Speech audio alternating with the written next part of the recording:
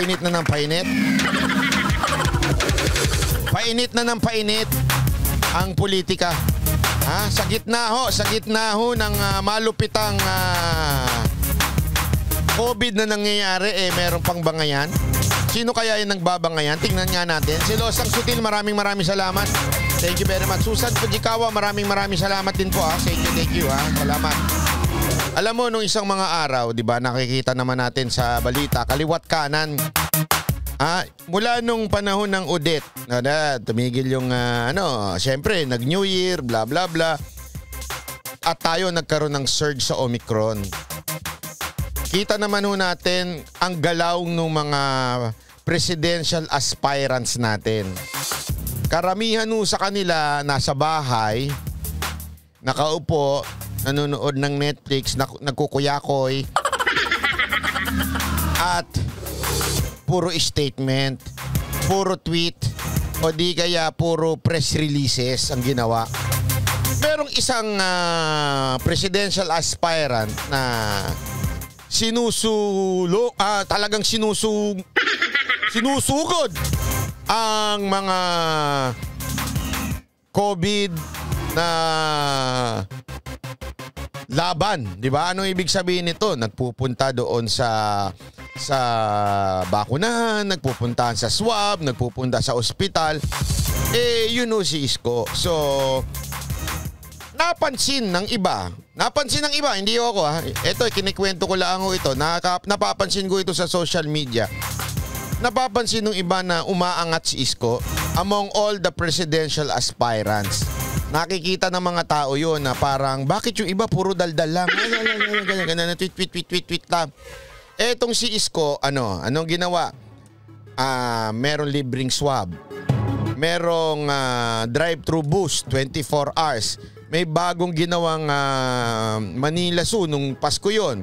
Tapos meron nung ah, ah, ginawang ospital. Oh, tapos yung ah, condominium. So nakikita nilang gumagalaw at hindi nagtatago sa lungga. At the same time, nag-order pa ng mga ano ng mga gamot. Siya ho ang kauna-unahang, Maynila ho ang kauna-unahang nag-order nitong Molno pir, beer. Diba siya ho talaga eh. Aminin na ho natin na talagang nangunguna siya pagdating ho sa usapin ng ah, pagsugpo ng ng COVID sa mga Metro Manila Council natin, sa mga Metro Manila ah, local government. Siya ho, Maynila ang nangunguna pagdating sa ganyan. Oh. Eh dahil ho doon, aba, parang ano, medyo nakikita nung iba na may pag-angat. Oh, pati yung clock tower oh. Kayo mismo nakakakita eh, di ba? Hindi ho ako ha, hindi ho ako. Hindi, kayo ho ang nakakakita. Kaya nga marami nagsasabi, yung iba, pinaplano pa lang, yung iba, pinapangako pa lang, yung kay Yorme, nagawa na daw. Kaagad. Ang bilis. Although may mga nagsasabi, eh ganyan naman si Yorme, sa simula lang yan eh. Ganyan. Oh, di ba? Kasi sabi nila yan nung ano nung 2019 nung nagsimula mag-mayor si si Yorme, sa simula lang yan, sa simula lang yan eh. eh ma- magtatapos na ganun pa rin. Sa simula lang yan eh. Oh, di ba? Sa totoo lang, eh nung ah, siguro, siguro lang ha, napansin. Napansin ng iba ah, na medyo umaangat si Isko. Nagiging consistent si Isko. Ngayon, may bumabanat na kay Isko. Meron nang nagsasabi, sabi, ah, ito, ito, ito. Meron daw nagsasabi, bigyan natin ng panahon, baka sabihin nila, hindi ko pinagbibigyan eh. May nagsasabi, Helen Ruiz, maraming salamat. May nagsasabi na kesyo may utang daw si Isko. Oh. Totoo. Ako, pera ko dito.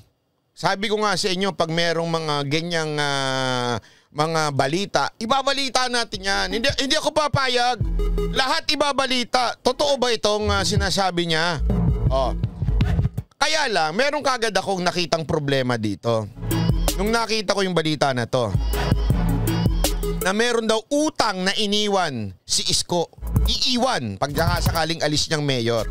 Number one, ang talagang nag-push eh no, eh yung mga kilalang reporter na alam naman natin eh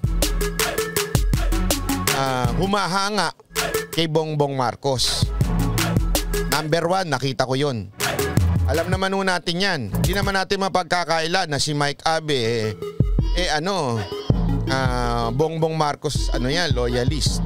Pangalawa, ang istasyon na pumick up lang, eh yung alam din nating may pagka Marcos leaning na istasyon. So sabi ko, ah, medyo uh, something fishy. Oh, something fishy. Oh. Tapos, eto ah, eto. Nung nakita ko, kung sino yung nagsasabi nun, abi kandidato naman pala.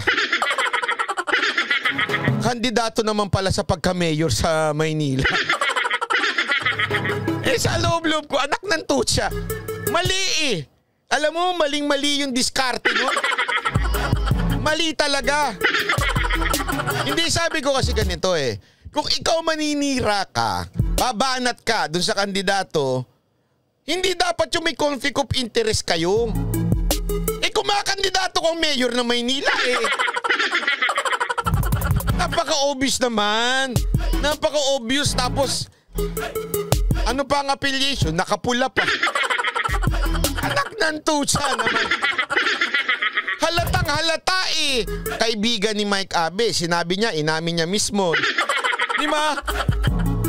Umamin na mismo. Kaibigan ni Mike Abe.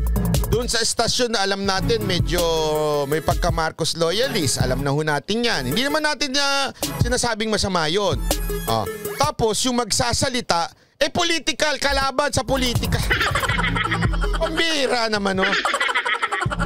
Hindi, sana man lang. Ewan ko yung medyo may, sorry ah, mahina ho yung ano, yung PR nung uh, nung tumatakbong mayor noon. Sana kung magpapalabas ka ng banat doon sa mayor, eh sana idinaan mo sa iba. eh pambihirang buhay rin. Ikaw mismo yung bumanat. Ano ba kuya? Wala bang nagtuturo sa'yo? Hindi, sabi ko nga, hala si kuya talaga. Talagang siya pa ang bumanat. Maling-mali. Dapat sana in- inilabas mo muna sa ibang mga vlogger na support. Ba- vlogger na na medyo mahihina, alam mo 'yon. Hindi, ikaw mismo eh. Ang layo. Labo talaga. Oh. Ate, panoorin niya, panoorin niya ito. Tawa ko ng tawa nung napakinggan ko to eh. Sabi ko, obvious naman yan. This is SMNI News Channel. Oh. Truth that matters. Oh. Uh, nasa linya natin komunikasyon si Attorney Alex Lopez. Oh. Yan, tatakbong mm-hmm. alkalde ito ng Maynila Parliament mga kasama. Makakausap natin uh, ngayong no? umaga. At, uh, oh, kilala daw niya yan. Oh. Nga, na-monitor natin yung uh, sukatan yes, mo, Partner Mike, at meron kang pasabog doon. Pasabog ni Attorney Alex Lopez. At, oh. Attorney. Yes daw niya kahapon yan. Sabi ni, ano, ha? ni Mike Abe. Good morning oh. po. Si Jade ito at si Mike Abe. Uh, magandang umaga po, uh, Jade. Magandang umaga po, uh, Sir Jade, at uh, magandang umaga. Ah, Attorney Alex Lopez, tumatakbong may mayor ng Maynila. Pambihira naman, oh. Hindi ako ganito ha. Hindi ko sinasabing hindi totoo yung sinasabi nito ha. Hindi ko sinasabing hindi totoo. Ang akin lang, wrong timing, wrong forum, wrong din yung messenger. Maling-mali. Pambira naman no. Ang ang mag ang magbibigay ng message nung yung yung yung uh, issue tungkol diyan kay Isko eh yung kalaban. Okay, sabihin mo hindi naman kalaban sa pagka-mayor si Isko. Oo, pero alam naman natin na si Isko, ang tao niya si, ha, si Hani Lacuna. At ang magkalaban si Lacuna at si Lopez. Na si Lopez, anak ito daw ng dating uh, mayor na dyan. Oh, the obvious na obvious na it's political. Pangalawa, doon ka pa pupunta sa alam mo namang ang affiliation eh nandun sa mga Marcoses. Tapos, ang mag interview pa sa'yo. eh yung alam mo naman ding Marcos loyalist. So, tapos nakapula ka pa. ano ba yan? Wala ubang nagtu... Alam nyo, magpaturo po kayo kay ano. Kay Thinking Pinoy. Oh, hindi. Alam mo, matalino naman talaga si Thinking Pinoy. Sa totoo lang, matalino yun. Kaya lang, minsan hindi ginagamit siya. Tama. Pero, hindi, di ba? I mean, magpaturo kayo doon kung paano, ano, maling-mali eh. po, uh, Mike Abe, magandang umaga po sa tagapakinig ng SMNI News. Ah. Thank you, thank Salamat you. Mayor, alam mo, alam mo, partner Jade, matagal ko nang kilala ito. At, Oo, at mat- sabihin na natin, hindi tayo nagtatago ng edad. 80s, 1980s pa lang kakilala. Ah. Inamin pang matagal niya ng kilala. ano ba yun? Talagang nagkaaminan pa na magka- magkakilala sila noon pa. Hay nako, ewan ko ba? Nagkakabubuhan tayo nito. Oo. Oo. Ay, anak ito ni anak anak ito Jade ni dating mayor Mel. Lopez. Ah, okay. Oh, anak Proud pa na dating anak ni Mayor Lopez. Kala niyo naman may nagawa yun dati doon. Ano ba yan? ito kaya ano, kaya na doon kami nagkakilalang araw. Ngayon, hindi, ang tagal na namin hindi nakikita. Nabalitaan ko, yung pala tatakbong mayor. Eh, Ah, ano, ito na. Big, big time na ito sa negosyo. Eh. Eh, Negosyante ito, pero gusto pa rin bumalik sa public service. Ah, ano ba, Alex, ano ba, attorney talaga ang plano? Ano bang, ano bang nagtulak sa'yo dahil nag-successful ka sa magandang mga business? Kasi alam mo, partner, mga kaibigan, ito pong si ah, Alex, ay ano ito eh, ah, developer, contractor, Yan na, yan na, yan na. Binibuild up na. Para yung credential niya, yung credibility, medyo mas malupit. O, di ba? Ayos. Hindi, wala namang problema. Mamaya, hihimayin natin yung sinabi niya. Pakinggan natin. Pakinggan natin, okay, kung ano ba talaga ang issue nito ni Attorney Alex Lopez. Maging bukas tayo. Again, I am neutral. It's ayoko ah hindi ko ikakampanya at neutral lang ako pagdating mo sa pag, mga presidente na tumatakbo. Ulitin ko, neutral po ako. Himayin natin. Kaya nga eh, kayo na hong humusga. Meron hubang basihan yung sinasabi nito. Hindi natin itatago, hindi natin i-ignore. Papansinin natin, ipapakita ko sa inyo, meron bang basihan? at ah, kung ano pang negosyo meron ito. Malaking kontraktor po ito, triple A kontraktor. Hindi Quadruple biro, po. Quadruple po. Ah, Quadruple. ayun, kwa- four na pala yan. Sorry, nabawasan ko. Uh, lang Napakalaki ho ng partner. Ilan lang ho sa Pilipinas ang quadruple A Naks, construction Wow, company. grabe. Ibig sabihin yan, partner, mga kaibigan, bilyon ang asset. Ganun lang yun. Kasi kung barya lang, eh, hindi ka pwedeng magkaganyan. Kaya, you know, bakit mo naisip balikan ang politika? Baka ibig sabihin, bu- bumalik ka ng Maynila sa kabila ng napakalaki ng negosyong hawak-hawak mo, attorney. Ah, ang pinag-umpisahan po niya nung nagdesisyon ng kapatid ko na for re-election na lang po pagpatuloy ang kanyang trabaho sa Kongreso, eh ah, marami pong nagikayat sa akin na multisectoral po na ah, mga vendor, mga Muslim sector, mga da- City Hall employees, mga Ah. barangay captain ho, ah, mga ex-congressman, halos lahat po ng ex-congressman, si Congressman Sandy Ocampo, Mm. si Congressman Tricia Bunoan, si Congressman Naida Angpin, si undefeated comebacking Congressman Carlo Lopez. Ah, lahat po sila hinikayat ako. Napakaraming sektor po ng ating lipunan sa Maynila ay Ah. hinikayat po ako na we need a credible alternative ah, because ah, may pinakita nga nila sa akin ang totoong picture na nakikita nila sa City of Manila. Okay. So ako naman noon, nag-verify, nag-consulta sa Biblia. Ah, dahil nga ayaw ng misis ko tumakbo ko, ah, may nahanap pang Biblia, may verse ang Biblia ko sa Ecclesiastics na sinasabing, ah, sinasabi ni King Solomon na ah, hindi naman daw maging hari para makapagsilbi. Ah, mahalaga kahit ah, sa maliit na paraan mo, pwede ka naman magsilbi. Pero at the end of the day, every time we open randomly the Bible, ang sinasabi po ng Biblia ay ah, magsilbi ako at ah, given a path when your path crosses the path to service and sacrifice should all Nax, nax. Crystal B, maraming salamat ha. Patay tayo, ginamitan na tayo ng Biblia. Yari tayo, Tony G. kin- kinausap daw siya. Ah, sige.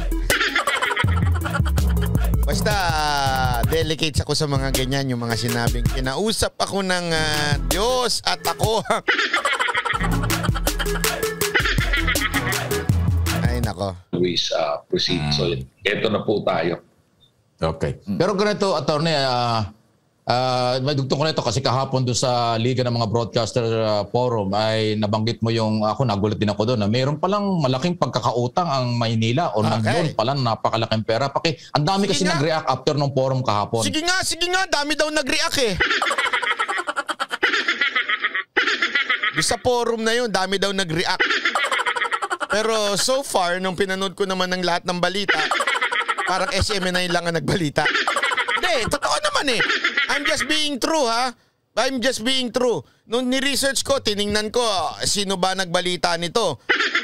Sila lang, okay? Sila lang. Oh, yun na naman talaga totoo. Tumingin kayo sa, new, sa News 5, GMA, ABS, UNTV, sila lang oh, nagbalita.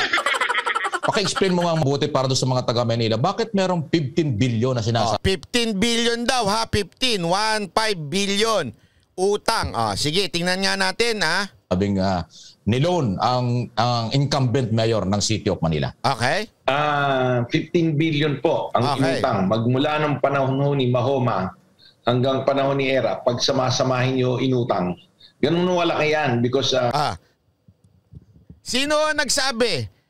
Ma panahon pa noon hanggang panahon ni Erap. Ah. 15 billion daw pag samasamahin ng utang.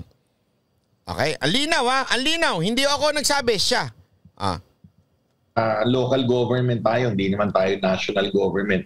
15 billion na hindi katamtaman lang ho yan for a national government but for a local government that is regressing uh, we used to be the premier city ngayon uh, Sa loob-loob ko nga. So, para atang misleading yung title. Kasi ang title nito sa, sa, sa SMNI ha, utang na ini, iiwan ni Mayor Isko Moreno. Eh ano ba sabi niya? Ulitin natin ha, oh. Dinawin natin ha. Ang title nito, utang na iiwan ni Mayor Isko Moreno. Ako naman noon, nag-verify, nag-consulta Oh. sa Biblia. Dali, Ah, mamaya na yan. The Bible. Paki-explain mo nga mabuti para doon sa mga taga Manila. Bakit merong 15 billion na sinasabing uh, niloan ang, ang incumbent mayor ng City of Manila? Ah, Ah, 15 billion po ang inutang magmula ng panahon ho ni Mahoma hanggang mako, mako, makoma. Sino man yung makoma na yun? Kilala yun. panahon ni Era. Pag Hanggang panahon ni Era. Oh, samasamahin nyo inutang, oh. ganun wala yan because ah, local government tayo, naman tayo. Doon pa lang bagsak na yung argument eh. Sabi ko, sa panahon noon, pananggang ni Erap, pero ibinintang kay Isko. Ha? Sabi ko, ay nako. Kaya nga natatawa ko eh. Sabi ko nga eh, sana kung magbabatuhan sila, lagyan naman natin ng argument na tama. 'Di ba? Argument naman na tama, magbatuhan kayo, wala akong problema kahit sino pa manalo sa inyo. Mabubuhay ako. Magbatuhan naman kayo ng tamang argument. 'Di ba? national government. 15 billion na hindi katamtaman lang ho yan for a national government but for a local government that is regressing. Uh, we used to be the premier city. Ngayon, uh, pangatlo na lang tayo sa Metro Manila. Nauna na tayong Quezon City at ng Makati at naunahan na ho tayo ng ilang probinsya na nung araw naman ay uh, premier ang city sa income. So, palubog ang income ng city pero umutang pa rin ho, unprecedented po. Kahit pagsama-samahin nyo nung panahon ni Mahoma hanggang panahon ni Era po, hindi po nagkaganito. At ang pinakamasakit po ay ang pinagkagastusan po kasi may COVID po. Oh, ito daw ang masakit doon sa inutang pa. Ah, ha? Sa inutang pa. Ito daw ang masakit. Makinig kayo mabuti ha, makinig. Hindi ako magsasabi sa inyo, siya. Ito masakit. Napakabigat po ng ah, problema ng syudad sa ng syudad sa ah, health sa um, sa hanap buhay, sa trabaho, sa pagkain, sa pagkainan.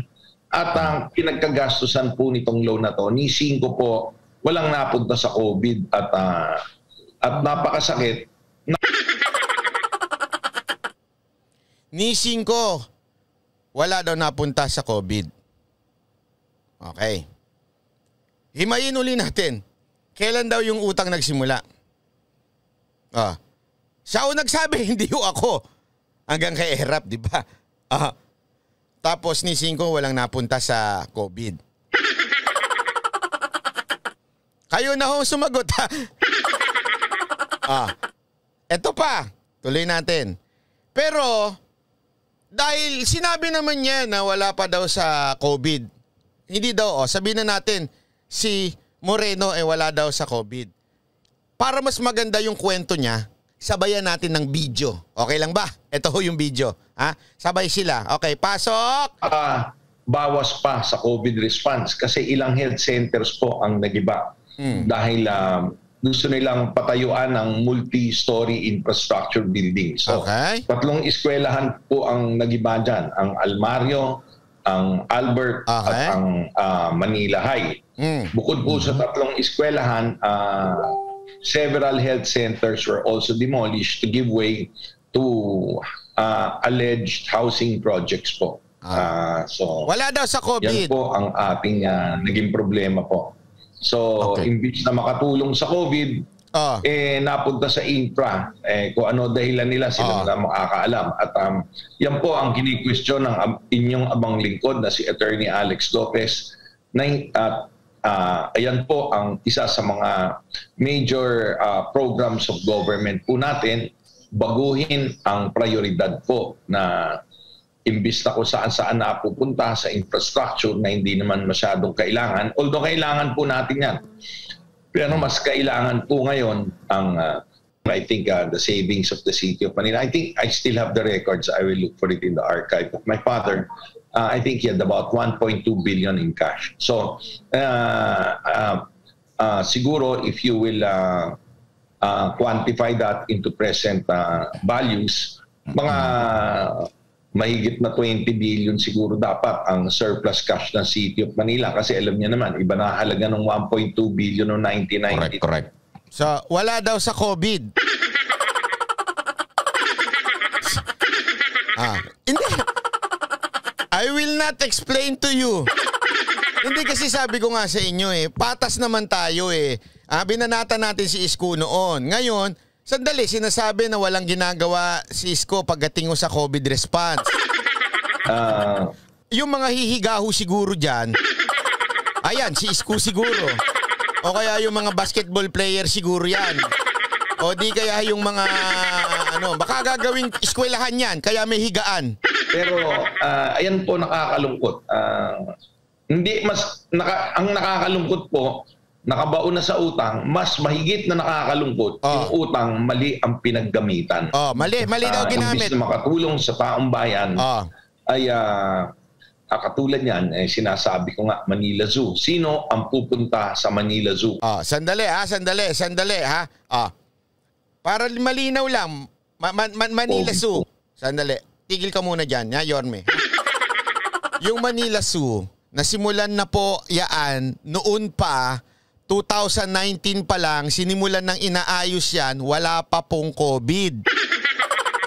Nandiyan na naman po tayo eh, yung parang doon sa, anong tawag doon? Doon sa Manila Bay. Yung Dolomite, Dolomite. Oh, dapat may COVID, dapat lahat COVID, COVID. Nasimulan na ho yun, na ilagay na yung budget doon, hin wala pa hong COVID. Okay? Ngayon, yun lang ba concentration? Hindi. Ano pa, aside from, totoo naman to, alam nyo, ang hirap eh, kung ila- gusto mo ipaglalaban mo yung ta- isang tao na wala naman talagang nagawa. Pero hindi mo naman pwedeng siraan yung isang tao na wal- merong nagawa. O halimbawa, sinasabi niya, totoo na walang natulong. O, eh, alam nyo kahit papaano, maayos naman yung condominium. Anong gagawin natin?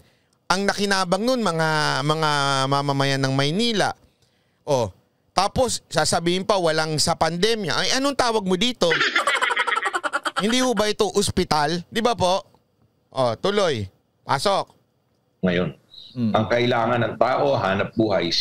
Ah, pwede naman maging libangan yan, pero hindi ganyan ang halaga. Alam nyo, budget ng tatlong probinsya yung 1.7 billion. And I'm still looking for more documents because I was told that um, yan pang, isa pang Mahal napakalaking pala ng Manila yung transparency. Mm-hmm. Isipin nyo, tatlong probinsya ang budget. Ah, Alam nyo kung bakit ako naiinis sa mga, sorry oh, pasensya ho, ah, ah, Attorney Lopez, hindi ko kita-kita kilala. Naiinis lang ako sa mga pumupunan ng ganyan yung, oh, kita mo na, billion-billion yung project sa Manila Zoo, ganyan-ganyan. Tapos ang sagot pa ni Mike Abe, ah, mahal pala naman yan. So, sandali, ano ba ang gusto nating klasing bansa? Yung chipipay? Gusto ba natin yung Manila Zoo, damo lang? Paki-explain. Kasi it's the same thing na pinupukol ng mga tao, ay sorry, nawala. Ng mga tao kay Pangulong Duterte. Ano yung pinupukol nila kay Pangulong Duterte? Ah, mahal-mahal naman yung ano, subway. Oh. Ang mahal-mahal naman yung kay Marty, ang mahal-mahal naman yung ganito. Bakit nag-skyway? Ba't di na lang pakainin ng tao? Ba't may dolomite? Ano ba? Sandali. Ano ho ba ang gusto natin? Gusto ba natin ng chipipay? Lagyan na lang natin ng bato yung Manila Bay. Huwag na natin lagyan ng dolomite yan. Bato-bato na lang ilagay natin dyan. O kaya lupa, yung ma- ma- ng dagat. Naintindihan niyo ibig ko sabihin? This is not about isko. This is about thinking na yung politika nakakainis. Para lang may maibanat, eh yung mga proyektong magaganda naman, okay, o wag, again, wag niyong iboto si Isko na presidente ha, wala akong pakialam. Wag niyong iboto, wala akong pakialam. Ang akin lang, simple lang ho. Maganda yung nagawa dun eh. Bakit hindi natin pag, ah, purihin para may mga ibang tao, may mga ibang mayor, gawin din yun. Di ba? Maganda yung ginawang subway. Ang mahal ng subway, billion-billion yan. ha? oh, bakit? Eh sana kaysa gumawa ng subway, bumili na lang ng maraming jeep. O kung nga babanatan lang si Pangulong Duterte. Bakit na ano mo yung subway? Nagkakasakit na ang taong bayan ah. Ano mo yung subway? Gutom na ang tao ah. Makakain ba yan tren? Di ba nakakabuisit yung mga ganong klaseng pananaw? Di ba na parang, oh ano ano, bakit ka bibili niya? Bakit ka magagawa ng skyway dyan? Makakain ba yung bato? Makakain ba yung bakal? Makakain ba yung daan? Di ba? Nakakabuisit to yung mga ganong klaseng birada. Katulad niyan, Manila Zoo, ang ganda eh. World class. Parang sabi nga ng iba, parang Singapore. Tapos dahil lang sa politika, okay, dahil lang sa politika, kailangan banatan. Eh doon naman, napakaano naman ho nun, parang maliho eh. Sa akin na maliho yung ganon. Kasi maganda eh. Again, wag niyo iboto si ano ha, Han Lacuna ha. Wala akong pakialam, di ako taga Maynila. Attorney Lopez, hindi rin ako taga Maynila. Ha? Taga, ano ako, tagig. Joke lang po, joke lang po. How I wish. Taga BGC ako, ganun. Diba? Totoo naman eh. Aanuhin mo yung ano, aanuhin ko yung ah, pagkapanalo ni Lacuna. Wala akong pakialam. Hindi ba ako makikinabang dyan eh. Huwag niyong iboto si Lacuna. Wala akong pakialam. Ang akin lang, kung may magandang ginagawang isang mayor, kahit ano pa kulay niyan, dapat naman pasalamatan natin. Di ba? Ay, ito si, sabi ko nga si, si Joy Belmonte, dilaw eh. dilaw na dilaw si Joy Belmonte. Alam naman ho natin yan. O, eh, eh, pero bakit pinuri ko kahapon? Kasi maganda ginawa nung maali. Nagbigay siya ng 2,000 sa mga ayaw magpabakuna. O, o yun lang naman kasimple. It's so unfair. Honestly, sabi ko nga nung pinapanood ko to, ay grabe naman. Ganito na ba magiging batuhan ng politika? Ang pangit, ang sagwa, nakakaano na, nakakarindi. Bilang mamamayang Pilipino, nakakarindi. Hindi ko kami na ano, hindi ko kami natutuwa na batuhan kayo ng batuhan ng ganyan. Yung merong magandang nagagawa, bakit kailangan batuhin yun? Sana labanan. Ganito lang kasimple eh.